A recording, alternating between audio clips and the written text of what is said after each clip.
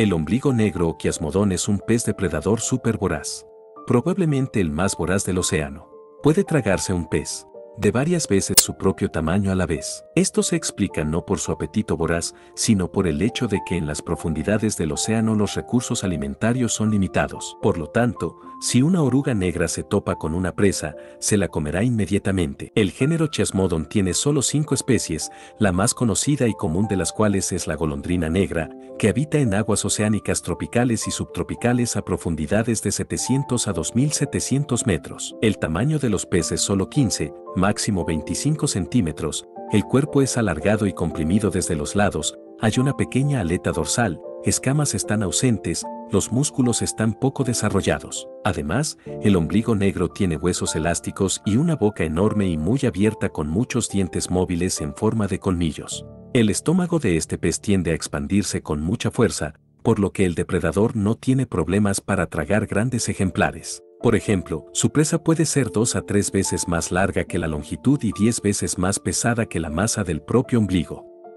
Ha habido animales glotones que han batido récords. En 2007, un sifio de 19 centímetros de longitud fue encontrado en la orilla tras haber sido mordido por una serpiente caballa de 86 centímetros el día anterior. Debido a su boca de gran abertura, el sifio es capaz de engullir presas mayores que él en tamaño. Su estómago y las paredes de su cuerpo pueden estirarse mucho, lo que permite al pez comer presas más grandes sin demasiados problemas. Se cree que el ombligo agarra a su presa por detrás y se la traga empezando por la cola. El proceso de caza de los gasterópodos negros es interesante. En la oscuridad de las profundidades, estos depredadores perciben a sus presas gracias a un sistema bien desarrollado de órganos de línea lateral. Captan vibraciones de baja frecuencia en el agua, y la línea lateral les permite localizar posibles presas. En la superficie inferior del cuerpo, las aletas pélvicas y pectorales tienen órganos luminosos especiales, los fotóforos.